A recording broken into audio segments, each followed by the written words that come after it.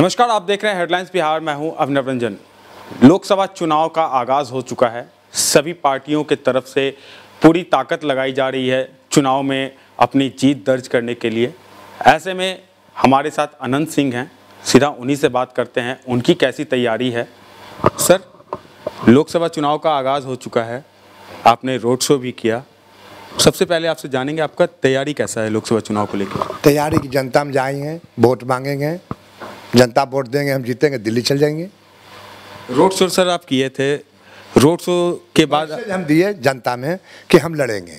आप लोग का आशीर्वाद होना चाहिए। तो आशीर्वाद तो इतना मिला जिसको ठिकाना नहीं है। उनको धन्यवाद देते हैं। आपका सीधा मुकाबला वीणा देवी हैं वहाँ पे जो वहाँ की हैं। तो उनसे आपका मुकाबला है। तो क्या लगता है कि कितना मुकाबला कड़ा होगा? वहाँ कैंडिडेट के के आ रहा है से हम नहीं जानते हैं। आप बिना देवी करा कोई ललन सिंह करा है के कैंडिडेट वहाँ है से पता हमको नहीं है। वो कोई भी आवेंगे हम जमानत जब्त करा देंगे। लेकिन वीणा देवी जो हैं वो कहती हैं कि अनंत सिंह को कौन जानते हैं वहाँ पे? हम जहाँ से खड़े होंगे वहीं से चुनाव जीतेंगे। तो जो कह रहा है ओकरे बात मानिए। कौन जानता है अनंत सिंह के? तो हम कैसे कह जाएँगे हमको कुछ जानता है। वो जो बोला वह मानिए। सर बिहार में आप कैसे देख रहे हैं? जो अभी समीकरण चल रहा है महागठबंधन का चुनाव को लेकर उसको आप किस तरह से देख रहे हैं? वो तो हम बता रहे हैं कि नीतीश जी की ज़मीन घसक गया। तब तो जितना बिहार के चोर चिल्लर है सबको खोज के मंच पर जुटान होता है। जिसको कुत्ता नहीं पूछता था। उसका बाद आदमी कुले मंच पर आए हैं। नीतीश जी का ज़मीन घसक गया है। क्या लगता है इस बार चुनाव में किसको ज़्यादा फ़ायदा पहुँचने वाला है सर एनडीए को या महागठबंधन को? महागठबंधन को। महागठबंधन को फ़ायदा पहुंचेगा महागठबंधन की सरकार है हाँ हाँ हाँ। आपका कांग्रेस में जाने का बात चल रहा था सर तो क्या कुछ उधर से बात हुई है आपकी? हमारा बात किसी से नहीं हुआ है। हम कांग्रेस के टिकट हमको मिलेगा सौ परसेंट हमको आशा है। नहीं मिला तो हम निर्दलीय लड़ेंगे। निर्दलीय लड़ेंगे तो आपको फ़ायदा पहुंचेगा सर? आप, आपकी जीत होगी। हाँ जीत होगी। जनता हमको मानते हैं। जनता को हम मालिक मानते हैं। तो टिकट से वोट मिलता है। अरे टिकट से इतने फ़ायदा होता है कि काम धाम करने में जनता का हमको आसान होगा। और जिताने के लिए जनता तैयारे हैं। जनता दे देंगे वोट हमको निर्दलियों में। लेकिन जनता का काम हम उतना बढ़िया नहीं कर पाएँगे जितना पार्टी में रह के काम करेंगे।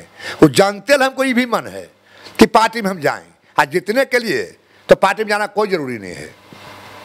सर, आप कह रहे हैं कि महागठबंधन की जीत होगी सरकार आएगी लेकिन महागठबंधन आरजेडी में सब कुछ ठीक नहीं दिख रहा है सर। तेजस्वी का अलग राग है तेज प्रताप को लेकर अलग बयान चल कुल अपना पर परिवार में सभी होता है कोई होता है सभी कुल होते रहते फ़िलहाल मौजूदा हालात हैं बिहार में इतने क्राइम बढ़े हुए हैं। ऐसे में बिहार का विकास दर जो है वो नया अभी आंकड़ा आया है जीडीपी ग्यारह कह रहे दशमलव क्राइम बढ़ल है तो क्राइम बढ़ल है तभी तो ये होगा सरकार जाएगा। आ क्राइम बढ़ने न था खूब सुंदर कामें होता तो सरकार जाता कैसे? यह देख रहे बिहार नाश हो गया है। तो नाश हो गया सरकार जाएगा। अभी बहुत अच्छा बिहार को कहते तो सरकार रहता। दिन दहाड़े पत्रकारों पे हमला किया जा रहा है। वो भी जो अभी सत्ता में हैं उनके नेता भाजपा के नेता के ऊपर आरोप लग रहा है कि उनका हॉस्पिटल है और उनके हॉस्पिटल में पत्रकारों से मारपीट की जाती है। क्या कहेंगे? जिसको जाए के रहता तो दिया भूहकता ज़्यादा ज़ोर से। कुल गर्मी में ज़्यादा है। कह तो रहे हैं कि कैंडिडेट हम लड़ेंगे वहाँ से। तो कुल चोर के बिहार भर के जुटा रहा आनंद सिंह से लड़ने के लिए। जब बुझता है दिया तेल झड़ जाता था धुधुआ धुधुआ वह कुल धुधुआ रहा है। तो अगर कैंपेनिंग की बात अगर कही जाए तो एज अ अनंत सिंह आप आरजेडी का कैंपेनिंग करेंगे? अगर कैंपेनिंग करने की बात है तो? मैंने? आरजेडी का प्रचार अगर करने का बात हो तो आप क्या उसमें शरीक होंगे? गठबंधन में जाए तो क्या नहीं करेंगे? सब कुछ करेंगे। जब महागठबंधन में हम जाएँगे पार्टी कोई हो सब ले करेंगे। और अगर सर आपको अगर कांग्रेस टिकट नहीं देती है तब फिर आप निर्दलीय ही लड़ेंगे। हाँ तो निर्दलीय लड़ेंगे। आपने रोड शो भी किया था। अब आगे आप क्या करने वाले हैं सर? आगू अब कुछ नहीं करेंगे जाएँगे जनता ही हाथ जोड़ेंगे वोट मांगेंगे वोट हमको देंगे हम दिल्ली जीत के जाएँगे। विपक्षियों को अपने विरोधियों को कोई संदेश देना हो? तो आप अपने अंदाज में किस तरह से देंगे? हम तो बोल रहे हैं जमानत जब्त करावेंगे कितना चोर जोड़ जा ले एनडीए पूरी ताकत लगा रही है। दूसरी तरफ़ कलकत्ता में तमाम नेता जो हैं वो एकजुट हुए। मुंबई का लंबा चौड़ा नहीं जानते हैं। अब कलकत्ता से क्या लेना देना हम बिहार की बात करते हैं। तो आ, आप मानते हैं कि जो वीणा देवी हैं उनसे आपका आ, मुकाबला जो है वो कड़ा मुकाबला नहीं है? किसी को नाम नहीं जानते। के उसमें लड़ेगा? बिना देवी तो नाम आप लाए हैं नया?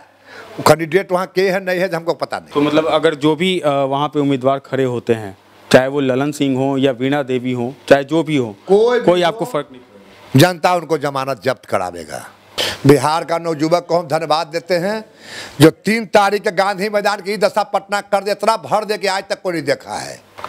तो अनंत सिंह है सीधा इनका कहना है चाहे कोई भी हो उनका जमानत जब्त करेंगे। लेकिन बहरहाल अब देखना है कि जो चुनाव होने हैं। चुनाव के बाद जो परिणाम आता है, वो किसके फेवर में आता है? क्योंकि दावे हर तरफ़ से किए जा रहे हैं, चाहे वो अनंत सिंह जी ने किया हो या फिर वीणा देवी या फिर ललन सिंह। तो फैसला तो जनता को लेना है। अब बहरहाल अब देखना है चुनाव में किसकी जीत होती है, जो कि चुनाव परिणाम के बाद ही सामने आएगा। वीडियो जर्नलिस्ट राज के साथ अभिनव रंजन हेडलाइंस बिहार।